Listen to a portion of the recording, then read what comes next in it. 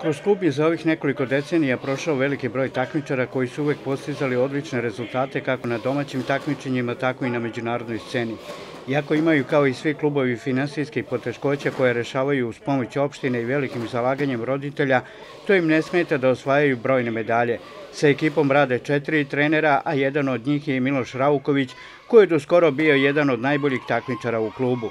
Iza mene na treningu ima oko 30 dece koji treniraju, to su takmičarska deca uzrasta od 2007. pa starije godine, takmiče se u katama i u borbama. Ja, generalno i trener Bajić iza mene, smo, radimo sa decom koje rade u kategoriji borbe i Mojčka radi sa decom koje rade kate. Poslednji uspesi koje su karatisti mladosti postigli su medalje osvojene na prvenstvima i kup takmičenjima u zemlji, ali bilo je uspeha i na međunarodnoj sceni i to na Balkanskom prvenstvu u Turskoj gde je osvojena bronzana medalja.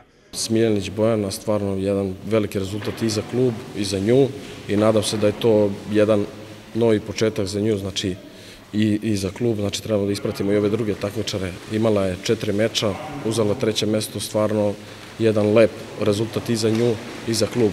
Pored Bojane Smiljanić, u Turskoj je bilo još troje takmičara Milica Milinković, Mija Crnić i Đorđe Grubić, koji jako nisu osvojili medalje su bili dostojni reprezenti i kluba i reprezentacije Srbije. U prvoj borbi sam pobedila Makedonku, zatim sam izgubila od Turkinje, u borbi za treće mesto sam pobedila Crnogorku i onda e, Bosanku. E, zadovoljna sam i ovo je, jedan, ovo je moj najveći uspeh do sada.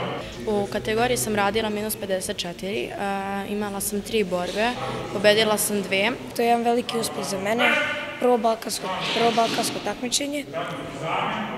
Obradila sam se kada sam čula da ću ići i svidilo mi se jako bilo.